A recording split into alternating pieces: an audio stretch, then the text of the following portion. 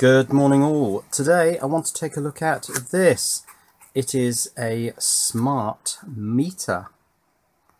In fact it's a single phase smart meter and it's the type that has a DIN rail uh, mounting at the back and fits into a consumer unit, otherwise known as a distribution board, for mains electricity. Now the main feature of this is that it's Wi-Fi, Wi-Fi, and it's compatible with the Tuya Smart system. So what I can do is put this into my consumer unit and uh, in the solar power circuit. And when the solar system is generating more than say 800 watts, I can get it to uh, automatically switch on one of my cryptocurrency miners. Now at the moment I do that manually in the morning. I keep checking the uh, the inverter's output when it's generating enough to turn on a miner, I turn on a miner. This could do it automatically. So let's have a quick look around this and then I'll take it apart. So here it says that uh, live in is 1, live out is 2. Now they're both on the bottom so live in is 1, live out is 2. Uh, 3 and 4 are neutral, and as I remember it, because I have had this apart, there's just simply a big bus bar running across there. But of course it requires neutral on here to power up the circuitry to get this LCD up and running and get the Wi-Fi unit communicating and all that sort of stuff. Right, let's take the screws out of the bottom there are two screws in here and have a look oh that one's behind the DIN oh I can get to that if I push that down. Okay. I'll switch to my slightly narrower screwdriver and take that screw out. So does this have clips at the side? I think it might. Oh yes it does. Now if I take this off gently, I think I might be able to get it off without unplugging the front circuit board. On the other hand, that may not happen. Oh yes, I've managed it. So there, that's an LCD. Uh, that's the button for the little switch here. We've got three LEDs. And then this daughter board, which also appears to contain the Wi-Fi module slung underneath uh, should come away from the main board on these little uh, well they're not 0.1 inch they're probably 2 mil DuPont style pins so let's have a closer look at this board we have a Wi-Fi module a type TYWE3S. I don't really know what that means. Oh, that's repeated there next to the strip antenna. Um, there is a microcontroller on this bottom board and there's X1 here at a funny jaunty angle. It's a sort of long thin black box. I'm assuming a ceramic resonator but it could be a crystal I suppose. And on the top uh, we've seen LCD button and three LEDs. Ah, now what do these say? Alarm, com. Okay, let's get a, go a bit further into this. This just appears to be clipped in. There are screw holes here, but uh, they've not been fitted for whatever reason. Okay, let's try and get this out. And uh, there it is, but it's wired to all the stuff underneath. So I'll just tip that to one side. Okay, inside here we have live coming off the red. Um, there's a big black thing in the bottom here and that is a relay. Now in the last video where I looked at this I discovered that this is normally closed so when you energize it through these uh, red and yellow wires uh, which I believe is 9 volts I think it says that somewhere uh, it pulls the relay in which disconnects the link between live in and live out. Now there's a section there which is slightly silvered and blue and yellow wires either side of it so that's the current shunt. Um, there's a neutral connection, this white wire over to the neutral bus bar here. So this thing can measure um, voltage across red and white. It can measure current flowing through this shunt on the yellow and blue wires. Uh, also in here we have, that looks like a capacitor because it's marked 681, 10k 681, so I'm guessing that's a capacitor. There's a large value, or at least a large power rated resistor there. That's probably a low value. I can't see it. Brown, black, brown, 100 ohms. Three uh, electrolytics here, little inductor there. Um, I'll see if I can get a shot of that relay. Yeah, so that is an FC808. You can see it says there coil 9 volt DC. Something written after that, but I can't see what it is. Uh, 80 amps, 250 volts AC, and then lots of stuff which I'm having difficulty. Oh, the FC808 again down the bottom. Uh, 9 volt DC for the coil again, and some other stuff. Just try and get a close up of the connections on that shunt there. I don't quite know how those are attached on, but they look a bit Ugh. But uh, certainly, yeah, red would be the direct live tap, and blue and yellow are across that shunt area.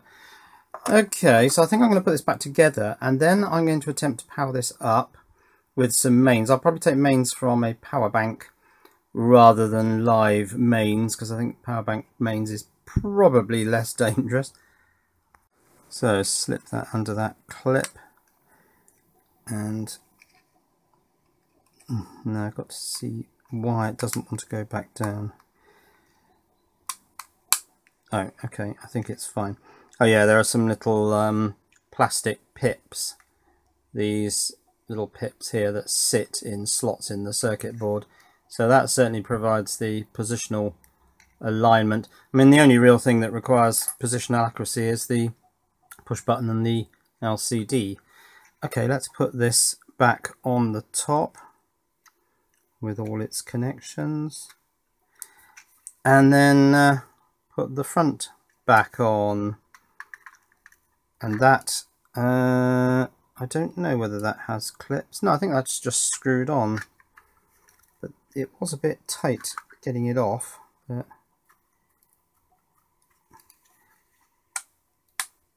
yeah, that seems to have gone back on. Okay, I'll screw that together and then we'll get some mains on it. So I'm wiring up a plug with two black wires. Um, live and neutral aren't really different, I think, from a power bank. I think the only thing that differentiates neutral from live on the mains is the fact that it's earthed at the substation. Um, so from a mains generating power bank, live and neutral are essentially the same, I think. Right, there we go. So uh, two black wires on live and neutral. Let's put the lid on this plug. Go and get, oh, a small power bank that has a mains facility. Power this up. So I'm going to use the small Jackery, the Jackery 240. Um, plug that into there. I'm not going to switch it on yet because I don't have my wires wired up. Actually, I was wondering if I um, touched one of these wire ends when this is on with one finger. Obviously I wouldn't do that sort of thing and put uh, one on each hand. That would be dangerous. But if I just touched one and brushed against it, would I even feel it? Because nothing is referenced to ground. The other end would be floating around. What do you think? So live in is one. I'm, I'm going to use live in. It wouldn't really matter if I used live out because as I say the relay is closed but um, I want to do that because I might put a load on live out and then we can see whether this LCD works. I wonder if it's back illuminated. I didn't see a back illumination light. Uh, neutral can go to either one of the neutrals up here. They're just bussed together. Got a feeling that one had the wire on it, but it doesn't really matter at all. So let's screw that into there. Of course, these screws are live, which is why you've got these covers. Oh, that's fallen out. Why's that happened? Right, stand back a little bit and turn on the mains output. Oh, and we've got something on the display. Let's have, a, oh, and some flashing lights. Are they all blue? No, it's just the middle one flashing at the moment. And that is the Wi-Fi light, it would appear. Now I'm guessing that this flashing LED means that this is in pairing mode. I'm going to run up the Lidl Home app. I do also have the Tuya Smart app, but actually the Lidl Home app, if you back out of it, says tap again to exit Tuya Smart. So the Lidl Home app is the Tuya Smart app. Right, if you push and hold the button for 10 seconds, then this flashes at half speed and it is putting out an SSID. I can't show that because I can't really show my home SSID. So I'm going to connect to Smart Life 1080 or whatever it said. Well, after a huge amount of fiddling about, I've managed to get Meter to appear here. Now, I've never installed a Wi-Fi device before, so that's probably why. Um, I got it to work on the Tuya Smart app first, but you can actually make it work on the Lidl app if you fiddle about. So let's go to meter and there's a huge power on button and if I press it there's a big click this light comes on which I think means that the relay is energized and therefore this thing has shut off or at least it's switched off its link between live in and live out um, but I don't want to cut the power particularly because uh, when I connect this into my solar power system, that would cut the solar off, which is not what I want. What I really want is the electric stuff, which is down here. And that's showing me that there is an accumulated total of 0.12 kilowatt hours. I don't quite know how, uh, unless it's this thing just had some residual data in it. We've got a voltage of 228.4 and it measures power and current in milliamps. So I need to put a load on this thing really. Um, but what I can't see here is there are two registers in here which you can select with this button. Can you see that? It is visible actually. You have to press and hold it for uh, slightly longer than... Ah, is that that's the pulsing thing. Um, so that's I V two two something. It's very hard to see that display. Power naught uh, Q, power factor 1.0, uh, frequency 50.24. That says all zeros 0.1 and that says all zeros. Now I think one of those is the uh, forward power uh, counter and one of them is the reverse power counter. I'll have to look further into that. Right, I've attached a bulb on here, LED filament bulb, so it's not taking a huge amount of power. Just want to check the on-off thing first. Obviously the relay switches the bulb off. And back on again. Now if I go into electric, we've got current LE 28 milliamps, uh, current power 3.2 watts, 230 volts. Uh, let's unscrew that if I can. How quickly does this respond? Oh, reasonably quickly. Power zero. Screw it back in. Little bit of a delay. Power 3.3 watts. Well, it seems to work. Well, the manual says that it's got total energy kilowatt hours, positive kilowatt hours, and reverse kilowatt hours. So there's my connection. I've got live going into live out and my load, the lamp, going into live in. And on the app, it still seems to measure uh, power correctly. So it doesn't seem to mind which way you draw power through this thing. It measures it as positive power. So that's gone to zero and the current also.